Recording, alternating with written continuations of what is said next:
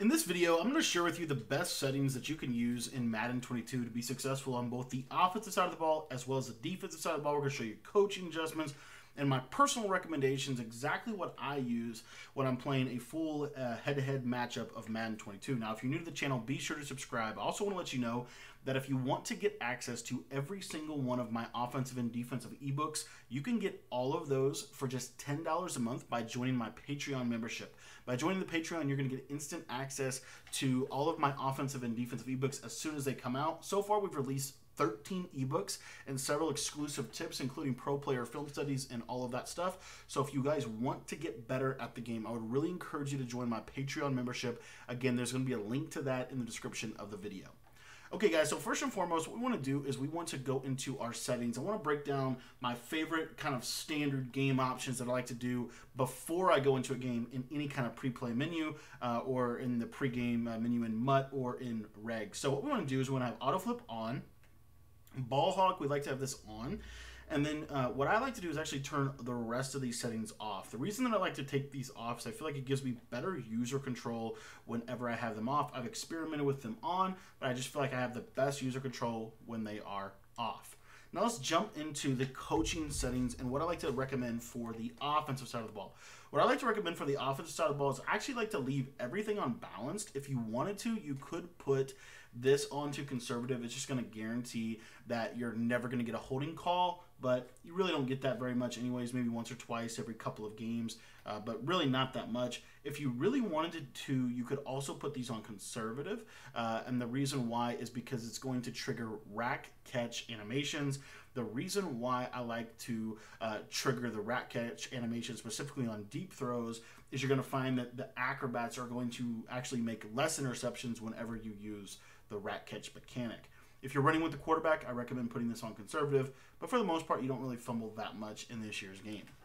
All right, let's flip over to the defensive side of the ball and what I like to recommend. So first and foremost, you want to have auto flip on. Depending on the defense, you might want to have it on baseline. Uh, for example, if I defend compression sets, I really like this on baseline. But if I'm defending kind of a standard, you know, uh, spread offense or doubles flex, I'll leave this on default. But there are certain situations where you want to put this on baseline.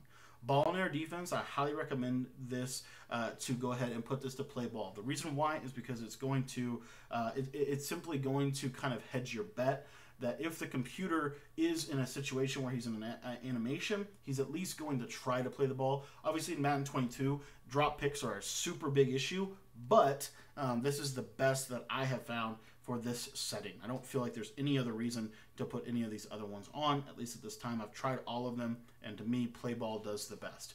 Cornerback matchups. I really don't use this feature. I find that this feature doesn't really work for me unless I'm going to be uh, playing a specific man to man style of defense. I just haven't found this works very well, so I leave this on balance. Option defense, very important. We want to make sure that this is always on conservative. The reason why is because if there is a read option, most of the time people run read options so they can run with their quarterback. This is going to always make it so that the quarterback will never be able to run the read option. And it makes it so that when you're shooting the gap, all you have to do is essentially stop an inside zone. Uh, strip ball. I want to talk about this setting really quickly. If you put this on aggressive, you will get fumbles. Obviously, you do run the risk of getting a face mask penalty, but if you have the strip specialist ability, you're going to get a lot of fumbles if you put this on aggressive. But that being said, in general, I go balanced because I don't want to deal with the, the face mask penalty. Tackling, leave it on balance. I've tried aggressive, I've tried conservative. Balance is the best in my personal opinion. Now, zone drops, really, really important. If we are playing a match defense, meaning cover four palms, cover three match, cover three buzz match, cover four quarters, cover six, cover six invert, cover nine show two. Those are match defenses. So if you're going to play a match defense, I highly, highly recommend that these are on default. If you don't put these on default, the only match defense that will work semi properly is cover four quarters. But outside of that, none of the other match concepts are really going to work that well. Even the cover four quarters is going to be severely limited, and the match defense is not going to work properly. However, other than that, if you don't want to play match and if you're wanting to play zone drop, spot drop defense is what I call it, uh, basically what I like to do here is two different types of zone drops. The first one is for uh, a you know kind of heavy coverage The second one is whenever I'm sending heavy pressure. So what I like to do if I'm playing heavy coverage is I like to put my flats on 30, my curl flats on 10, and my hook curls on 5. Now I will adjust these situationally. For example, if I'm in a short yardage situation, I might put the curl flats on 5 and I might bump these down to 15. Those are situational kind of adjustments that I'll use. If I am sending the blitz, just kind of a standard uh, situation where I want to blitz, I love to put the flats on 10.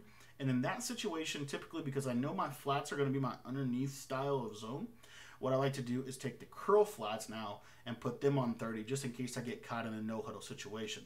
Another thing you could do is you could put these both on 10 and you could leverage the power of a curl flat to the weak side and a hard flat to the left side, something like that. But as a general rule, uh, I love to put these on 10.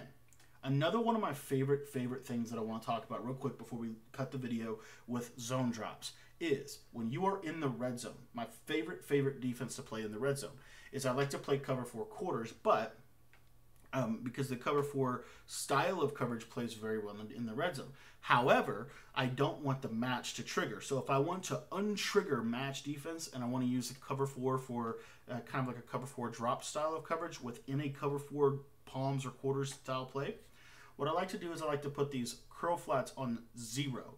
The reason why I like to put them on zero is because it's going to essentially cancel the match. Now, I'm not actually going to use a curl flat zone. I'm going to shade my coverage down and use the default hard flat. So those are some little tricks of the trade that you can use. But by and large, guys, this right here is my personal favorite way to play zone drops. Or if I'm going to send heavy pressure, I will go 5, 10, and 10.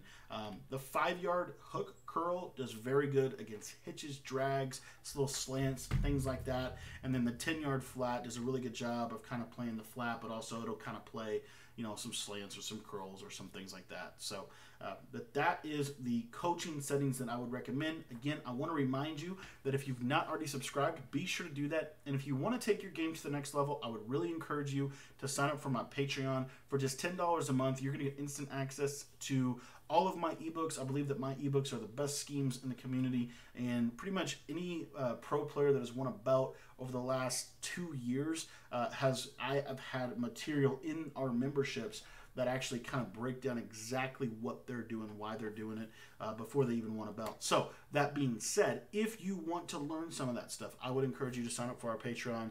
It's where I really kind of put the best of the best that I've got to offer and all of the stuff that I am labbing and uh, working on. So, that linked is, I'm going to link the Patreon down in the description. You can sign up today for just $10 a month. Also, want to remind you that you can cancel that whenever you'd like.